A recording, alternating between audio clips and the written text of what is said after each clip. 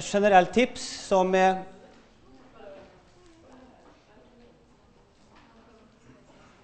Skal vi starte?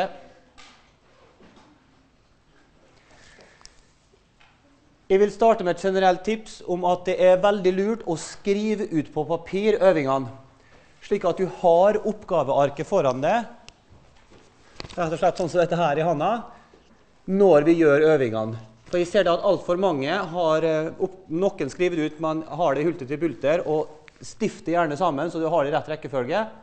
Stifter i hjørnet. Og noen bruker nettbrett og mobil og sånne ting, og det går jo det òg, men jeg vil fraråde det. Fordi det blir så mye scrolling frem og tilbake at du mister oversikten. For jeg vil påstå det at 95% av løsninga ligger på oppgavearket fra den oppgaven du står på, og oppover. Så hvis du skal gjøre en gitt oppgave, så står enten delsvaret eller det du skal bruke i oppgaven foran, eller oppgave foran der igjen, eller helt i begynnelsen av oppgave, oppgaveteksten, der du får oppgitt eh, størrelsene helt i børjan. Og den oversikten som papiret representerer, kan i hvert fall ikke en mobiltelefon eller nettbrett matche, og heller ikke en PC, for da blir det mye sånn blading og scrolling. Og så jeg vil anbefale dere skrive ut på papiret øvingene. Det er et godt tips, for da får dere mye større oversikt. Og jeg ser det at mange av dere mister likt oversikten nettopp av den grunn. Ok, da går vi til dagens eh, repetisjon. Jeg har lyst til at vi skal repetere de fire derivasjonsreglene, oversiktsreglene, de fire viktigste, som vi bruker i dette kurset. Disse fire derivasjonsreglene kommer vi veldig langt med, og det er dem vi i all hovedsak kommer til å bruke. Så er det mange sånne småderivasjonsformler som eh, er viktige, men det her er de fire hovedformlene som vi bruker oftest i det kurset her. Det er hovedregelen, om du vil. Så skrev ikke vi ned dette her i eh, forrige gang. For det står ikke eksplisitt i kompendiet, men vi skrev det ned på en eller annen side. Side 100, 172, ja. Der hadde vi litt plass på side 172, så vi tror vi skrev det ned der. Og den første her, det, nesten, det har ikke noe navn, men jeg vil kalle det nesten hovedregel.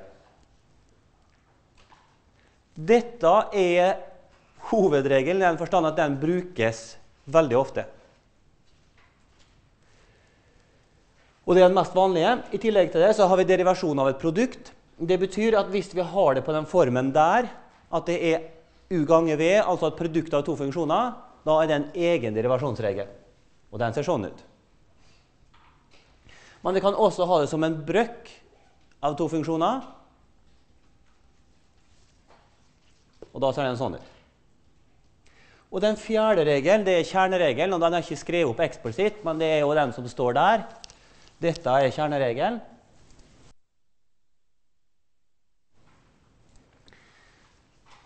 Og jeg har bare skrevet opp det som at jeg har lyst til at vi skal gå gjennom disse her når vi får en derivasjonsoppgave. For mest sannsynlig så er det én eller flere av disse her vi skal bruke. Bare en liten digresjon som dere kan eh, gjøre sjøl. Vi har det at eh, f av x er lik U delt på V. Det er den der brøkregelen her. Sånn at hvis du har brøk uh, U delt på V, så kan den skrives sånn som dette.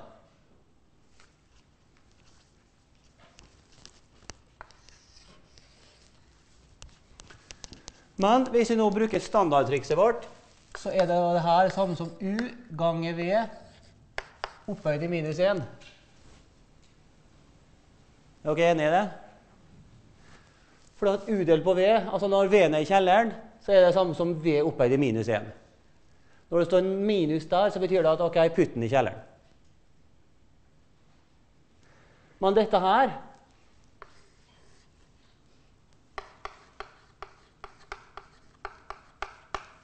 er jo bare et produkt. Ja, men Hvis vi skal derere en karen her, da, da kan vi nå bare faktisk bare bruke produktregelen. Så hvis vi gjør det, skriver om den karen der i hvert fall produkt, og bruker den regelen, da får vi faktisk denne. Det er derfor jeg satt den der klamma rundt to og tre. For hvis du har den ene, så har du den andre.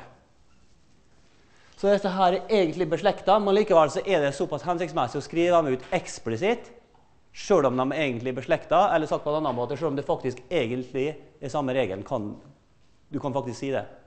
I den forstand at du kan bruke denne til å ende opp her. Det er bare en liten teoretisk digresjon som jeg har lyst til at dere skal vite. Men når vi skal gjøre matematikk i praksis i logistikksammenheng og økonomisammenheng, og for oppgaver vi skal derivere, da har jeg lyst til at vi skal tenke på disse fire reglene her. Og jeg har lyst til å skille to og tre. altså Vi kan ha dem separat og skrive dem opp eksplisitt, sjøl om de er i slekt. Så hvis vi da går til kjerneregelen, jeg vil ta bare ett eksempel der, så går vi da på side 171. Så ser du at den blå her, det u, det er jo vår ener. På side 171. DU, DU. Slik at denne her er på en måte vår ener. Det er på en måte en huskeregel som vi har for å huske på kjerneregelen. Og Formelsamlinga som vi holder på å lage nå, satt i går kveld og kommer til å sitte et par dager og blir forhåpentligvis ferdig i løpet av uka så står jo for kjerneregelen eksplisitt i formelsamlinga, som dere får lov å ha med dere på eksamen. Så dere trenger ikke å huske den der, men det kan være lurt å ha det i hodet likevel. og lage seg sånne huskeregler. Dette var jo den indianerfjærregelen som vi laga som en huskeregel for å, ut, eh, for å, prøve å huske denne. Som sagt, Også denne står i formelsamlinga, men indianerfjærregelen kan være god å huske i denne sammenheng. Og den der den må vi bare pugge, for det som skjer da, som sagt, at den n her går ned, og så blir det minus 1. Så hvis vi nå tar et eksempel på kjerneregelen, for den kan være litt vanskelig, så tar vi det eksempelet som står på side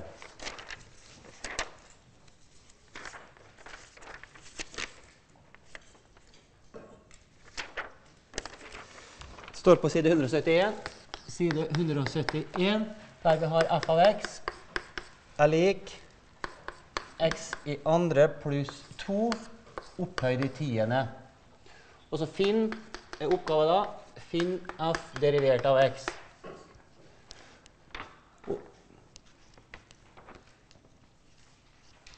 Finn f derivert av x.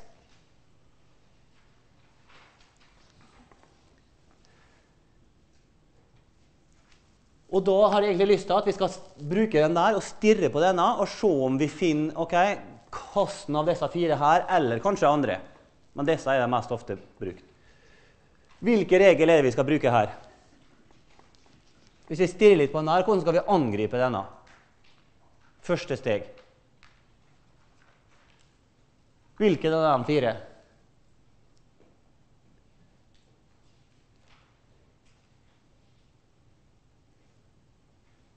Hvis det har stått det her, da, at f av x er lik x opphøyd i tiende hva hadde, f av, hva hadde en derivert av dette vært? Trenger ikke noen mellomregning her. Her bare sier vi svaret i, i hodet. Hva er x i tiende? Hva er en derivert av x i tiende? Jepp, bra. 10x i niende. For da har tiden gått ned, og så trekker vi fra 1. Det er jo det hovedregelen vår sier. Så hadde det vært sånn som det her, så hadde det vært enkelt. Men nå er det ikke det. For det er noe annet greier her. Så hva gjør vi?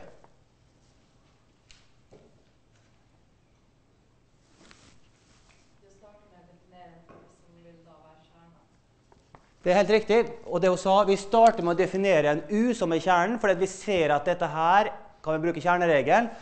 Og grunnen til det er at ja, vi ser at hadde det vært sånn, så hadde det vært enkelt å bare bruke hovedregelen, regel 1.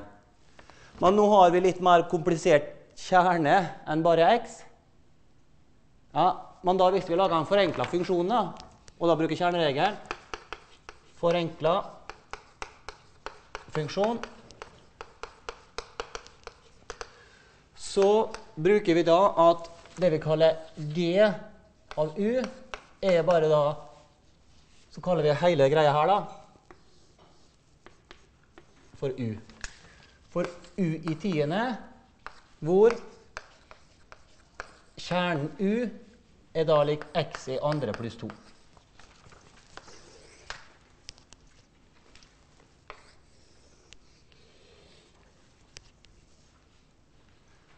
Og vi ser at dette og dette er det samme. Altså en forenkla funksjon er det samme som hovedfunksjonen hvis vi da bare definerer kjernen på denne måten. Så vi ser da allerede her at ok, her er en typisk kjernesituasjon, og da bruker vi kjerneregelen. KJ-regel. Og da må vi bare bruke en regel som står på projektoren. Altså, da sier vi at f derivert av x er det samme som forenkla derivert ganger kjernderivert. Og Forrige gang så skrev vi også en sånn mellomregning her på halvnorsk. Vi skrev at dette er forenkla funksjon derivert ganger kjernderivert. Men det steget hoppa jeg over nå. Men som sagt, dette er altså forenkla funksjon derivert kjernederivert. Og så tar vi og deriverer en der, og så uderiverer denne. For det er jo enkelt. Da bruker vi bare hovedregelen. Så hvis vi uderiverer den der, for det er det vi skal nå G derivert av U. Uderiverer denne, da får vi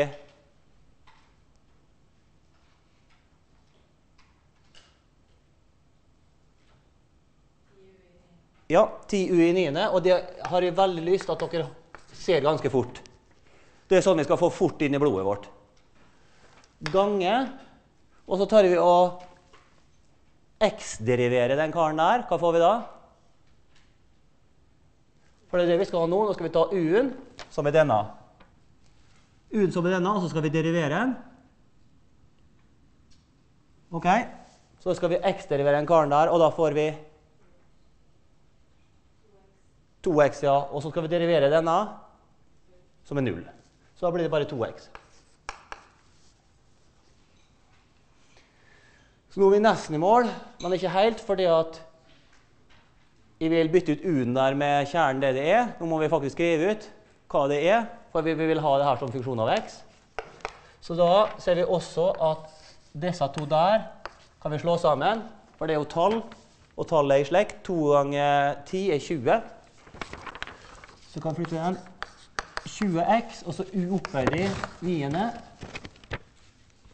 Ja, og u-en er x i andre pluss 2. To strek foran og to strek bak.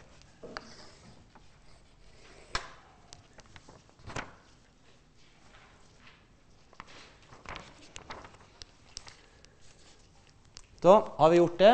Og du ser at hvis vi ser nå på på eh, løsninga som vi har gjort i, eh, på side 172 i kompendiet. Hvis vi slår opp der, side 172, så ser du at du trenger egentlig, når du blir vant med dette her, så trenger du ikke gjøre mer enn to, tre, fire, fem kanskje eh, linjer. Mens her gjorde jeg det ekstra mange mellomregninger. Men det er ikke nødvendig. Du kan velge sjøl om du foretrekker å gjøre step by step. Det bestemmer du. Men hvis du syns at dette her er et bra alternativ, og du forstår liksom det her, så er det greit å bare gjøre det på en 1, 2, 3 mellomregning. Dere bestemmer. Er dere litt mer usikre, så bruk litt flere eh, mellomregninger. Det er fullt lovlig.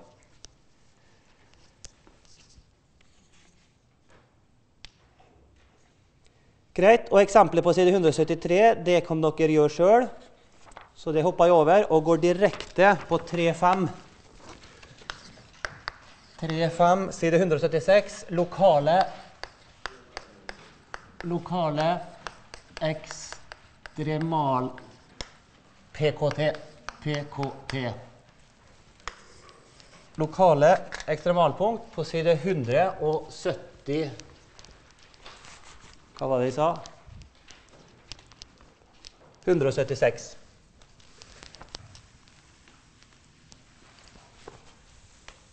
Og Nå skal vi se at derivasjon er viktig, og hva det faktisk kan brukes til.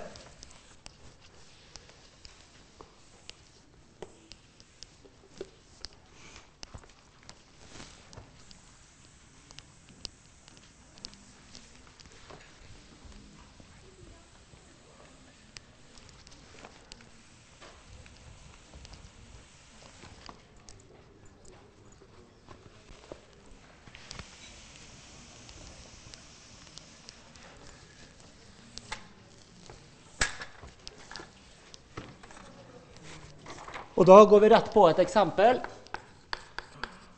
Eksempel side eh, 176, og det er f av x er lik f av x er lik x i tredje minus 3 halve x i andre minus 2x pluss 7. Dette er funksjonen vår. Og da er oppgaven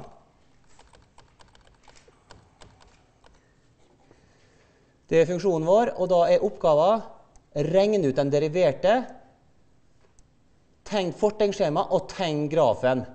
Og marker ekstremalpunkter. Ok? Da starter vi med oppgave A. som er å finne en deriverte. Nå har jeg akkurat viska det ut, da, de oversiktene som sto her. Men hvilken av de fire reglene som sto her, oversikt, skal vi bruke nå for å regne ut de deriverte? Hvilke av de fire reglene som vi skrev opp i stad, skal vi bruke nå for å finne en deriverte av ei tredjegradsligning?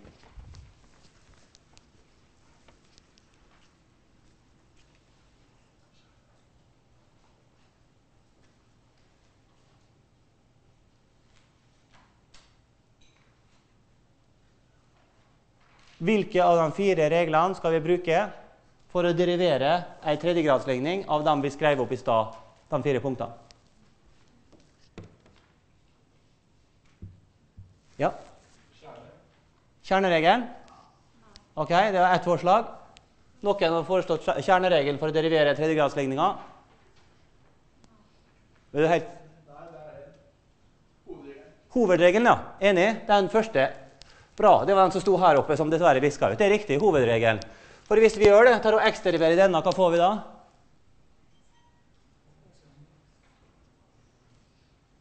Ja? Ja. 3x i 3 minus 1, og det er andre. Sånn? Så vi tar ikke den 3 minus 1-greia, vi går bare rett på 2. Og så tar vi og deriverer den der, og da får vi minus 3 halve først, og så går toeren ned. Og da blir det x oppi det første, bare. Og da ser vi også allerede her at da går den toeren mot den toeren, og det er jo kjempegreier. Og så skal vi x-derivere denne, og får minus 2, ja. Og så skal vi x-derivere denne, og får null. For det at det der er bare en konstant, og den er flat. Men hvorfor, hvorfor er den eksterivert av dette bare to, da?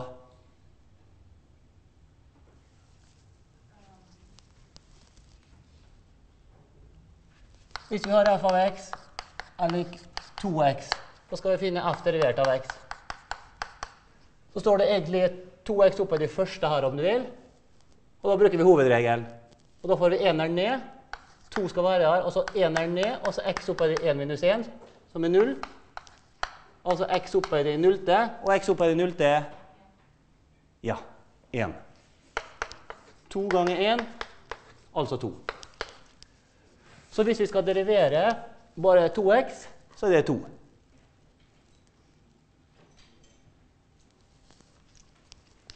Så da får vi her 3x i andre minus 3x minus 2. To strek foran og to strek bak. Tegn skjemaet, ja.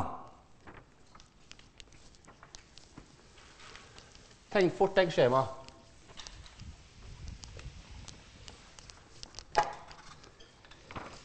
Hvordan skal vi tegne et fortegnskjema? Hvordan skal vi angripe dette her? Og vi skal tegne fortegnskjema for den deriverte. Hvordan angripe dette? Dette er en vanskelig oppgave og en arbeidskrevende oppgave. Men hvordan skal vi løse en oppgave her i prinsipp?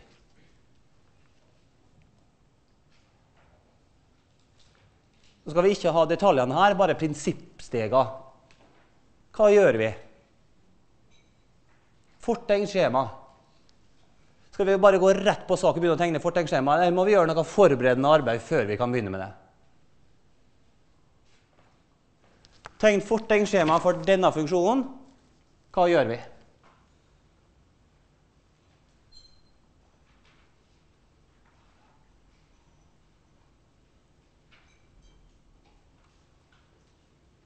Ja. Faktorisere andrehandsligninga først, ja. Det er jeg enig i. Helt enig. Vi faktoriserer denne først. Eh, det er helt riktig, men hvorfor gjør vi det?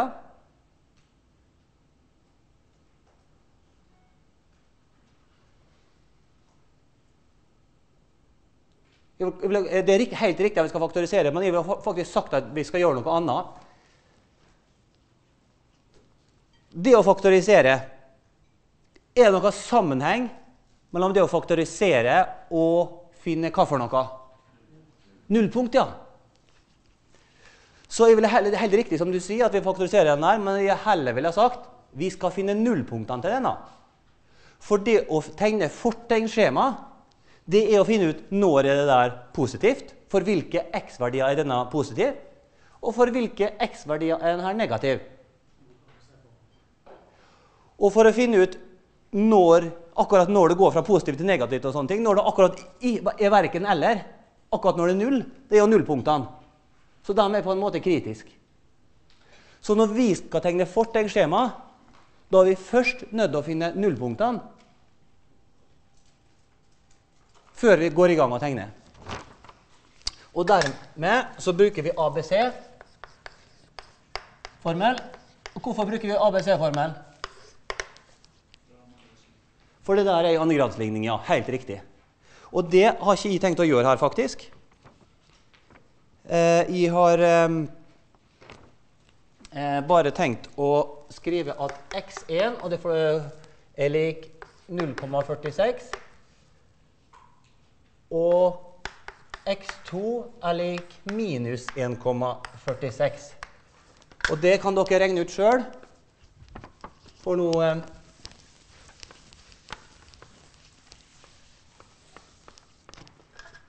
Og da ser vi at f av x derivert.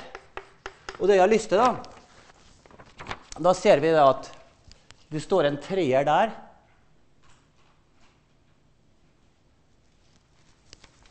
Skal vi se om vi finner det der. kanskje 176, ja. Nullpunkt.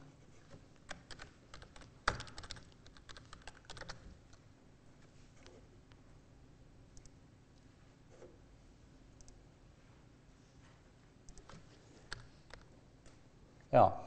Dere trenger ikke å slå opp på det her, men det her er det vi lærte om i, i eh, kapittel 1, nemlig at hvis vi skal finne nullpunkter til en andregradsligning, og det her er andregradsligning.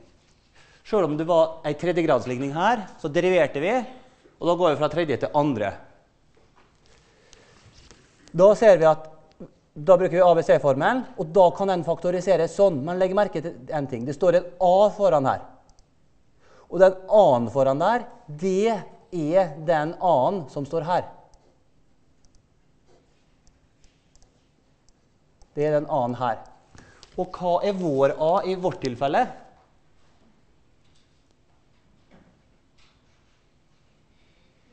Det er 3. Derfor så blir det 3 ganger x minus x1 ganger x minus